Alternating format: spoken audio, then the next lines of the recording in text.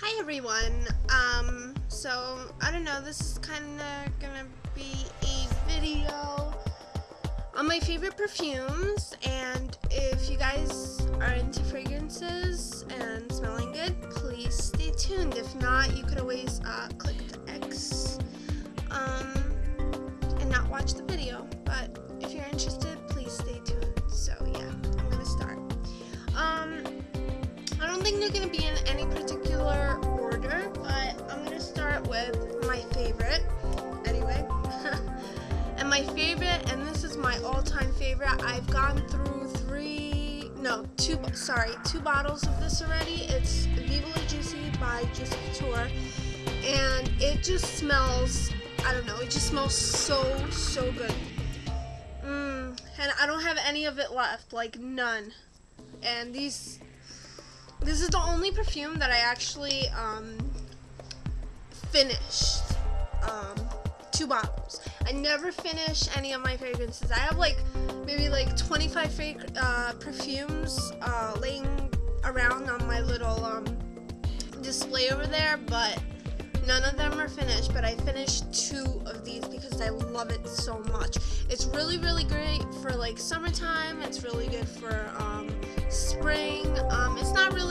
Winter fragrance, but whatever. It smells really, really good. Like really, really flirty, girly, um, like that, like juice, juicy, fruity um, fragrance. It's just really, really nice. And plus, you can't beat the packaging. The packaging is so nice. But anyway.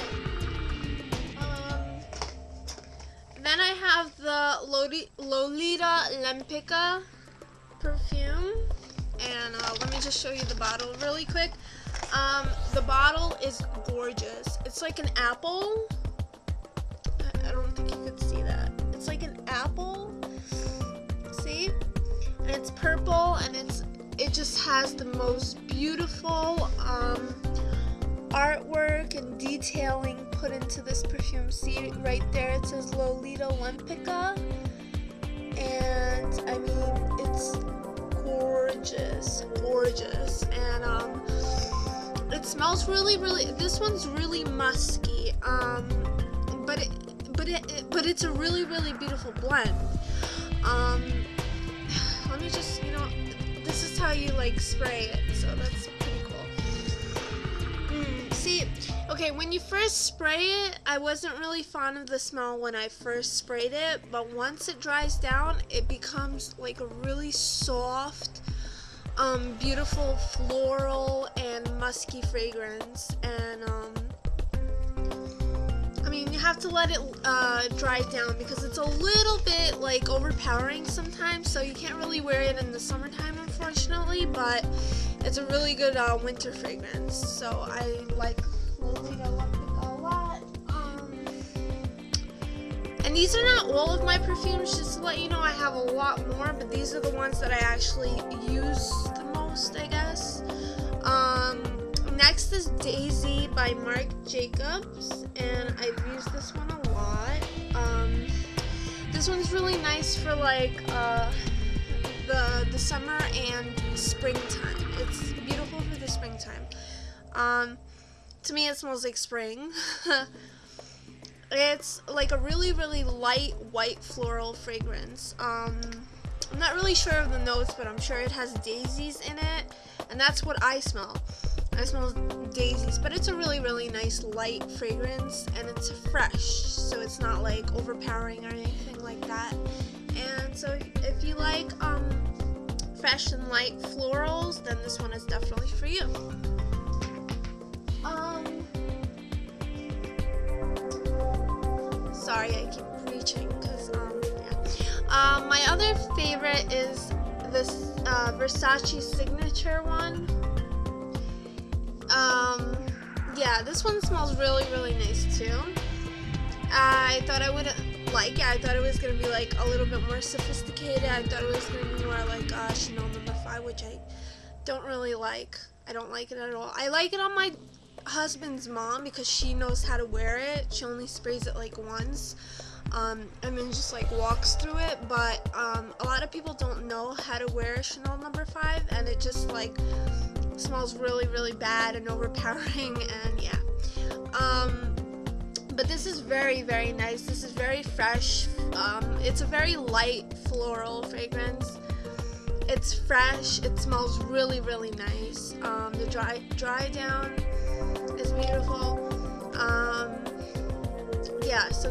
like Versace by Versace Versace signature perfume it's like this. Um so yeah.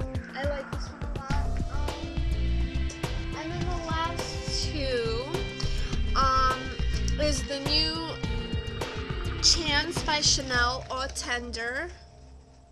See it says Eau Tender whatever you can't see it but it's the pink one. They have like one that's like yellow colored which is the regular chance by chanel but this is like um you can't really tell but it's pink. It's like pink liquid inside and um it's really nice. Uh it just came out like um probably around like two three months ago.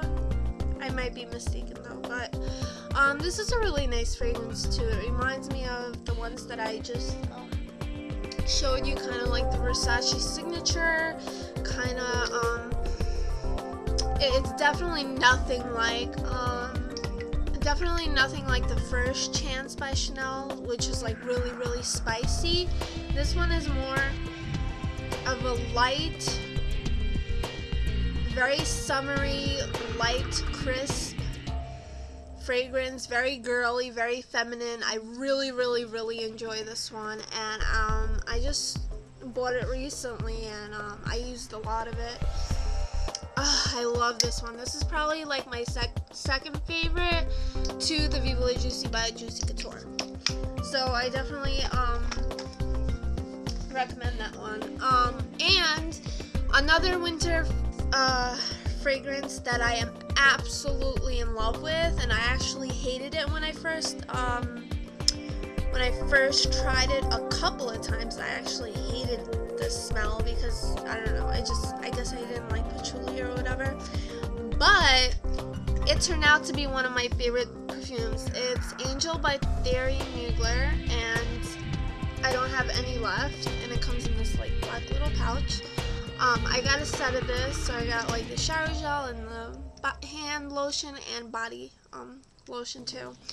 And this is the refillable bottle, so I could refill this. But this is, mmm, it smells so good. It has like chocolate notes and it has patchouli in it. Some of you don't like patchouli. I guess you should stay away from this because this is a very, very powerful fragrance. If you want to stand out, if you want to be the center of attention, like if you go out to a club or whatever, this is the proof perfume that you would use um, because all heads are going to be turned towards you in a good way and some in a bad way because a lot of people I know don't like patchouli and I think I've said that like a hundred times in this video. Okay, so since I um I covered all the um, all my favorite female um, fragrances, I'm gonna add one for males in case males are watching this video. And um, my husband's favorite and my personal favorite for him is Burberry Touch for Men. And it looks like this. And it smells so freaking good and it's for all seasons like it could be worn in the summertime in the springtime in autumn and, and winter whatever. It's really really universal scent. It's so good. I love this one. Um, on my husband i also like the ysl uh, for men that one's really good too. Okay so i hope you guys enjoyed this video and um, yeah. Uh, please don't forget to comment